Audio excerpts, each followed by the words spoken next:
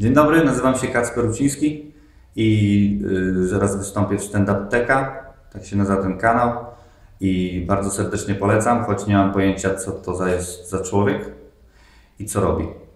Ale ma zajebistą kamerkę Sony i w sensie to jest y, aparat, no nie? I, I tego. Ile ja za to dostanę?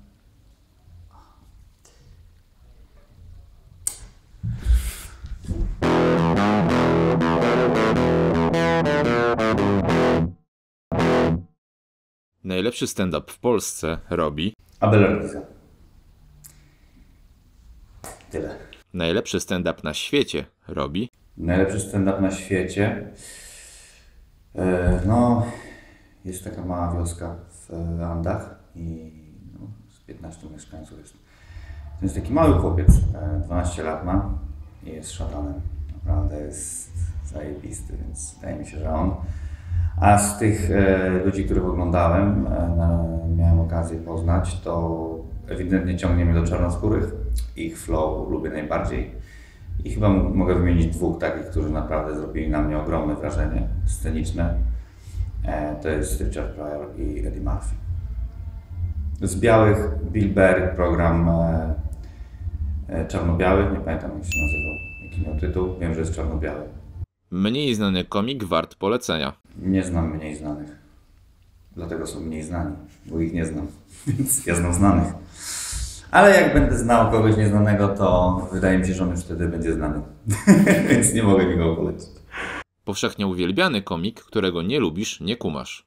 Nie mam takiego y, komika, który y, uważam, że nie powinien być tam, gdzie jest, bo z założenia uważam, że każdy znajduje się w miejscu, na które gdzieś tam w jakimś sensie zasługuje, które jest uzasadnione i y, wychodzę z założenia, że nie można czuć jakiejś zazdrości, zawiści, nienawiści do człowieka, który robi coś, co Ciebie nie, nie, nie bawi, czego nie kumasz, a jest y, popularny i tak dalej. Wydaje mi się, że po prostu nie, nie można tak myśleć. Trzeba po prostu robić swoje, trzeba patrzeć sobie na ręce, trzeba być ze sobą szczerym, więc jeżeli patrzę, że ktoś mnie w ogóle nie bawi i gra na stadionie, myślę, kurwa, nie wiem jak to zrobiłeś stary, że tyle ludzi na Ciebie przyszło, gdzie jesteś, dla mnie jesteś denny, ale nie mam z tym problemu, w sensie nie, nie będę do Ciebie pisał maili, stary skończ to, to jest gówno i obojętnie ile osób na Ciebie przychodzi, mam to w dupie, masz, masz tego nie grać. Więc nie, niech każdy robi to co, to, co lubi, a niech open mikerzy bardziej się czasem zastanowią. Młodzi ludzie, którzy chcą robić stand-up. Dlaczego chcą robić stand-up? Bo jak dla kasy, to bez sensu. Stand-up w Polsce za 3, 5, 10 lat. Stand-up w Polsce za 10 lat widzę tak, że jest y, Stadion Narodowy, jest y, wielki napis, który lata wokół stadionu, taki neon. Jest, napis, jest napisane Ruciński. I, I na supportach jest, są inni ludzie, których teraz znamy. Jakby ktokolwiek, w sensie fajnie, fajnie by było, żeby ktoś z nas mógł zagrać sobie na stadionie na własnym nazwisku, nie, nie żeby to była jakaś wielka trasa czy gala stand-upu, tylko żeby ktoś już mógł sobie pozwolić na, na jedno nazwisko zebrać, zebrać stadion narodowy. Wydaje mi się, że to by było, to był, byłby wielki sukces polskiego stand-upu i wielki przełom. E, I myślę, że stand-up będzie się rozwijał, ale nie wydaje mi się, żeby się rozwijał dynamicznie. E, Raczej nie zniknie, raczej nie, nie wyobrażam sobie, że moda na niego znika, bo stand-up jest za bardzo prosty, świeży i prawdziwy, za bardzo krę, kręci ludzi i, i za dużo jest różnych stand-upów, bo tak samo jak jest dużo różnych osób, żeby ludzie mieli się tym znudzić. Każdy, myślę, znajdzie coś dla siebie, paru komików i będzie sobie ich śledził i oglądał nowe programy. I myślę, że takich naprawdę godnych e, uwagi, polecenia, tak jak wydaje mi się teraz jest, nie wiem, z 7-8 w Polsce, tak może być 15-20 za 10 lat. Może tak być. I to już będzie duży sukces jak dla mnie. Najlepsza publiczność to taka, która. To jest ciężkie pytanie, bo z jednej strony najlepsza publiczność to jest taka, która śmieje się na tobie i z Twoich żartów. Z drugiej strony, według mnie, to jest też zarazem może być najgorsza widownia, bo totalnie uśpi Twoją czujność.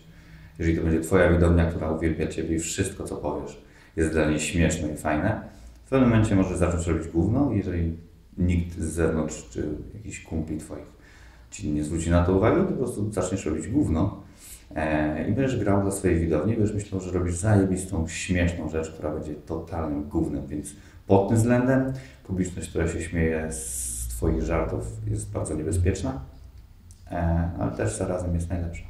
Nie ma lepszej widowni niż taka, która po prostu, którą bawią Twoje rzeczy. W polskim stand-upie brakuje mi ludzi, stand-uperów.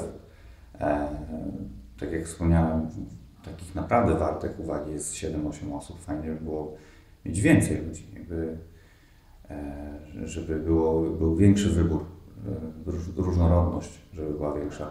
No ja bym chciał, nie wiem, mieć, móc zobaczyć właśnie takich 15-20 komików, z których, z których każdy ujmuje mnie bardzo czymś. Czy myślą, czy charyzmą, czy tekstem, czy żartem, czy czymkolwiek, ale ujmuje mnie czymś ewidentnie, że jestem w stanie go polecić każdemu, powiedzieć, musisz to zobaczyć, jeżeli lubisz stand-up, musisz to zobaczyć. E, więc tego mi brakuje, brakuje mi ilości e, i jakości w stand-upie. w polskim stand-upie jest za dużo. Open makerów. nie, uważam, że jest dużo ludzi, którzy nie powinni robić stand-upu, a robią. E, I dziesiąty stand-up z bombingiem jakby nie daje im do myślenia. Oczywiście są przykłady, które pokazują, że i rok bombingu nie świadczy o tym, że jesteś słaby. Po prostu za chwilę zaczniesz to robić e, i będziesz bardzo dobry.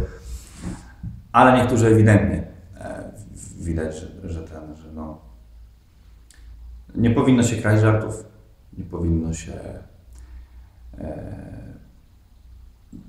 nie wiem, jechać na jakimś patencie cały czas, jakimś bezpiecznym, jakiś, znaleźć sobie bezpieczną przystań, czyli jakiś, nie wiem, tematyka albo sposób żartowania, albo to, że jak powiem kurwa, to zawsze jest chociaż lekki śmiech, więc będę mówił zawsze kurwa przy każdej puencie i żarcie. E, więc tak, do tego jest za dużo takiego myślenia, oddolnego takiego złego myślenia. Młodych ludzi, którzy myślą, że jakby najpierw myślą, ile na tym mogą zarobić, a potem dopiero myślą, co by tu tak naprawdę stworzyć na tej scenie. Wartego uwagi. Co pamiętasz ze swojego pierwszego występu? Zależy, który weźmiemy pod uwagę mój pierwszy występ stand-upowy, bo pierwszy, pierwszy występ zagrałem dla jednej osoby. Drugi występ zagrałem dla czterech osób. Trzeci występ zagrałem dla 36 osób. I wszystko to byli moi przyjaciele, rodzina, znajomi. e, I jakby musiałem to komuś pokazać. W tydzień napisałem godzinę materiału czegoś, co miało, miało być stand-upem. W Polsce nikogo nie znałem, żeby ktoś robił stand-up. Nikt nie wiedział, co to jest stand-up. Wszyscy wiedzieli, co to jest kabaret, co to jest one show, ale... E, więc wydawało mi się, że robię coś na tyle nowego i dziwnego, że, że nawet nie mam pojęcia, co z tym mam zrobić. W sensie, co mam z tym tekstem dalej zrobić. Muszę na początek powiedzieć to komukolwiek, żeby zobaczyć, czy w ogóle jest sens to dalej myśleć o tym. Feedback był bardzo pozytywny. Jakby zachęcił mnie, dobra stary, to jest naprawdę fajne, jakby rób to dalej. No jedyną moją opcją było jeżdżenie po festiwalach kabaretowych. W sumie nie było żadnych open miców. Więc to były moje pierwsze trzy występy. Dla jednej osoby, dla czterech i dla ten. A kto to jest ta jedna osoba, kto to są te cztery, to jest, zostawię sobie dla siebie tajemnicę. Stand-up to dla mnie Pasja.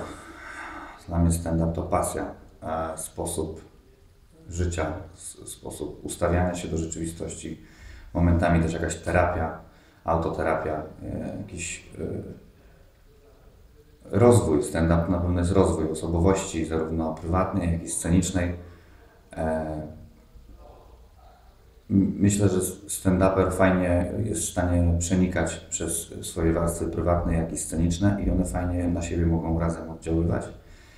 E, I to jest chyba najlepsze. Muszę zobaczyć swój występ sprzed dwóch lat czy trzech i powiedzieć, kurde, w ogóle to jest za proste, to jest za banalne, to to już było. Mam nadzieję, że nigdy tego nie zrobię, takiego czegoś jakby, nie? Więc e, wydaje mi się, że to jest tak, no nie wiem, to jest pasja i, i jakby dążenie do rozwoju samego siebie. Frajda, niesamowita frajda. Jest zajebistą, najlepszą sztuką rozrywkową, jaką można sobie wyobrazić. Thank you.